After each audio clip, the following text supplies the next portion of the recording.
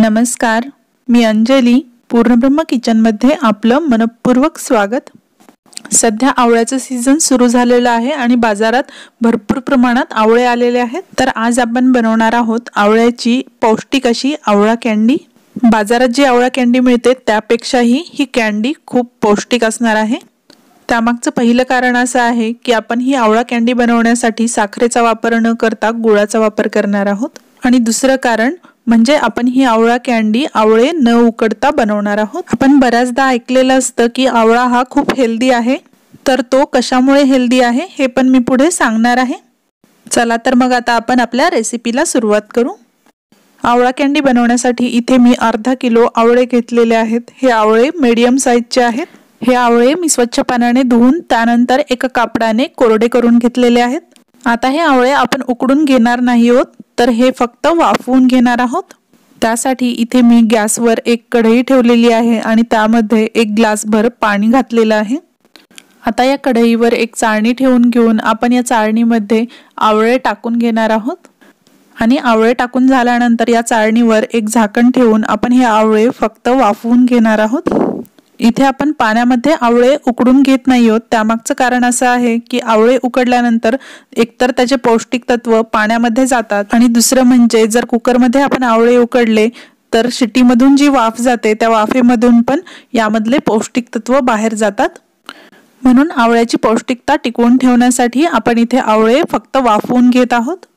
आता पंधरा ते वीस मिनिटानंतर आपण आपले आवळे चेक करू. इथे पहा मी चाकूने आवळ्याला प्रेस करत आहे. चाकू खूप इझिली आतमध्ये जात आहे.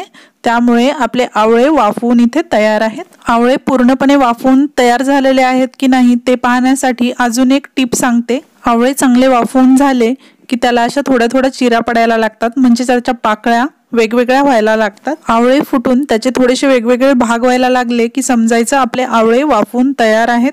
जर तुमचे आवळे यापेक्षा मोठ्या साईजचे असतील तर आवळे वाफून तयार होण्यासाठी जवळपास वीस ते पंचवीस मिनिट लागतात. आणि यापेक्षा लहान असतील तर दहा ते पंधरा मिनिटात वाफून तयार होतात. आता आपण गॅस बंद करून घेतलेला आहे आणि गॅस बंद करून घेतल्यानंतर या आवळ्यावर असंच झाकण ठेवून हे आपण थंड होण्यासाठी एक पंधरा ते वीस मिनिट असंच ठेवून देणार आहोत.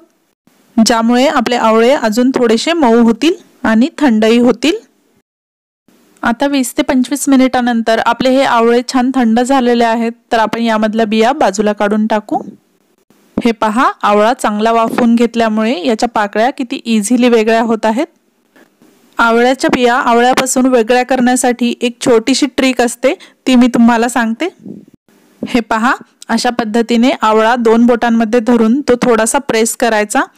असं केल्यामुळे यामधलं बी खूप सहजरित्या बाजूला होतं. आणि आता बी काढल्यानंतर याच्या एक एक पाकळ्या अशा पद्धतीने वेगवेगळ्या करून घ्यायच्या.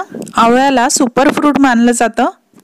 त्याचं पहिलं कारण असं आहे की आवळ्यामध्ये व्हिटॅमिन सीचं प्रमाण हे संत्र्याच्या वीस पटीने जास्ती असतं. म्हणजे वीस किलो संत्र्यामध्ये जेवढं व्हिटॅमिन सी असतं तेवढं फक्त एक किलो आवळ्यामध्ये असतं. दुसरं म्हणजे हे फायबर रिच असल्यामुळे आपलं डायजेशन इम्प्रूव्ह होतं. तिसरं कारण हे आयरन रिच असल्यामुळे आपला हेअर लॉस आणि हेअर डॅमेज कमी होतं. चौथं कारण यामध्ये हाय अँटीऑक्सिडंट्स असतात जे सेल डॅमेज होण्यापासून थांबवतात आणि त्यामुळे याची अँटी एजिंगमध्ये हेल्प होते. पाचवं कारण यामध्ये अँटीबॅक्टेरियल प्रॉपर्टीज असल्यामुळे आपली इम्युनिटी वाढते आणि इन्फेक्शन्स कमी होतात. सहावं कारण हे क्रोमियम रिच आहे आणि क्रोमियम हे इन्सुलिन तयार करायला मदत करतं. त्यामुळे रक्तातलं ग्लुकोज कमी होतं. म्हणून हे डायबेटिक पेशंटसाठी पण खूप फायदेशीर आहे. आणि सातवं कारण यामध्ये असलेले प्रोटीन हे मेटाबॉलिझम प्रोसेस बूस्ट करतात आणि त्यामुळे याचा वेट लॉसमध्ये उपयोग होतो. आणि आठवं कारण हे व्हिटॅमिन सीनी रिच असल्यामुळे आपली प्रतिकारक क्षमता वाढते. आता आवळ्याच्या फोडी वेगवेगळ्या करून झालेल्या आहेत. तर एखादी काचेची बरणी घेऊन किंवा बाऊल घेऊन आपण यामध्ये या आवळ्याच्या फोडी घालून घेणार आहोत आणि यासोबतच आपण यामध्ये गुळही टाकून घेणार आहोत. काचेचं भांडं नसेल तर यासाठी तुम्ही स्टीलच्या भांड्याचा वापर करू शकता. इथे बरणीमध्ये आवळ्याचा एक लेअर टाकून झालेला आहे. तर आता यावर आपण गुळाचा एक लेअर टाकून घेणार आहोत. आपण अर्धा किलो आवळे घेतले होते तर त्यासाठी इथे मी पाव किलो किसलेला गुळ घेतलेला आहे. अर्धा किलो आवळ्यासाठी पाव किलो गुळ इनफ आहे. कपाने मोजला तर दीड कप गुळ आहे. आता गुळाचा एक लेअर झाला की त्यावर आवळ्याचा एक लेअर अशा पद्धतीने आपल्याला सर्व आवळे आणि गूळ टाकून घ्यायचे आहेत. अशा पद्धतीने एकावर एक लेअर टाकल्यानंतर आवळ्यामध्ये जे मॉइश्चर असतं त्यामुळे गूळ पूर्णपणे वितळतो. आणि गूळ पूर्णपणे वितळल्यानंतर जो गुळाचा पाक झालेला असतो तो आवळा अजून शोषून घ्यायला लागतो. इथे आवळ्याचे काप आणि गूळ पूर्णपणे बरणीमध्ये भरून झालेला आहे.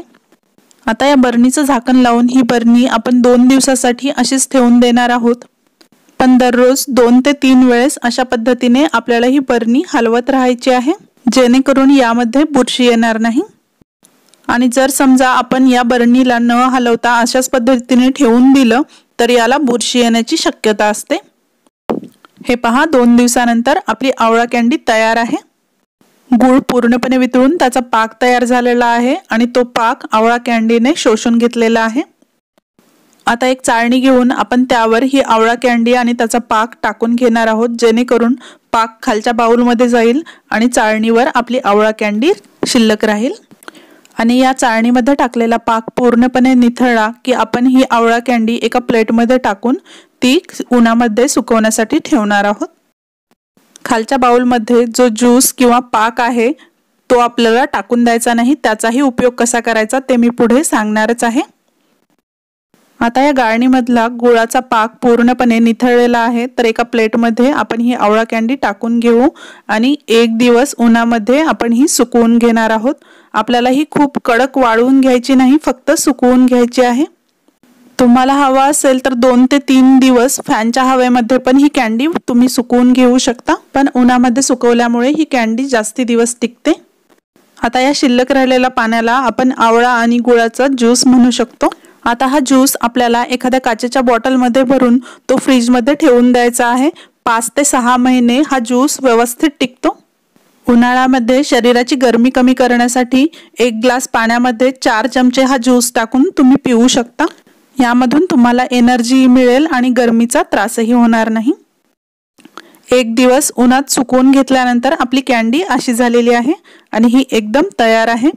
आहे की नाही आपली कॅन्डी बाजारात मिळते त्यापेक्षा एकदम हेल्दी बघा ही मऊ पण झालेली आहे. ही इतपत मऊ असली पाहिजे खूप ड्राय नसली पाहिजे. ही दिसायला जितकी सुंदर झालेली आहे खायलाही तितकीच चवदार लागते.